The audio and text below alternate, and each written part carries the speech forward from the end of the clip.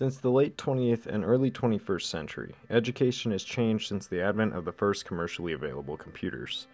Access to computers in schools has mainly been through the use of computer labs.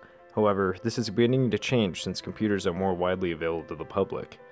Beginning in 2011, Monarch became the first bring your own device school in the Boulder Valley School District, allowing for students to bring their own computer to the classroom and use it to access online materials to help with various studies.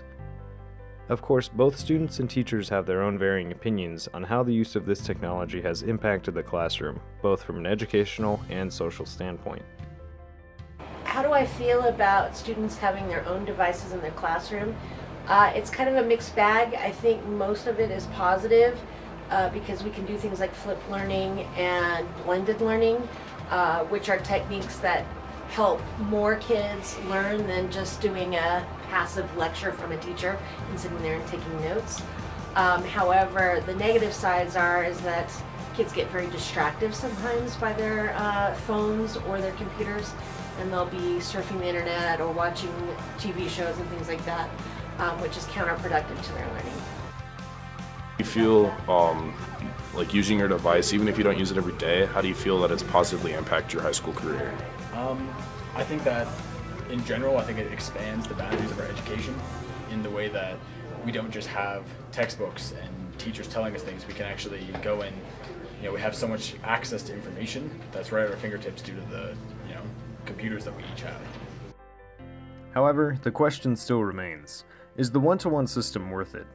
Setting up the infrastructure for this system costs both time and money, and there still isn't enough solid evidence to show if the introduction of computers in the classroom has provided a benefit for the students. In Eamon O'Donovan's article, Are One to One Laptop Programs Worth the Investment? he states, The lack of data on the effect of laptop programs on standardized test scores is a significant Achilles heel.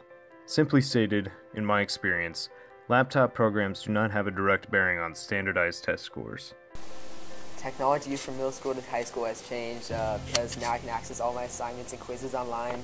We use uh, digital or driver's license. We had to like, fill, up a, fill out a quiz in uh, a computer lab, and uh, we had to bring that everywhere we go to use our computers. And yeah. Um, Next year, Monarch will be providing Chromebooks to incoming freshmen for $40 a year to help lower income families. Students will then be able to take these Chromebooks with them once they are done with high school. Right. How would you feel if the school would provide you a computer and like a Chromebook, and they provided everyone the same Chromebook? And uh, would you feel that that would be a better or a worse option to the bring your own device school?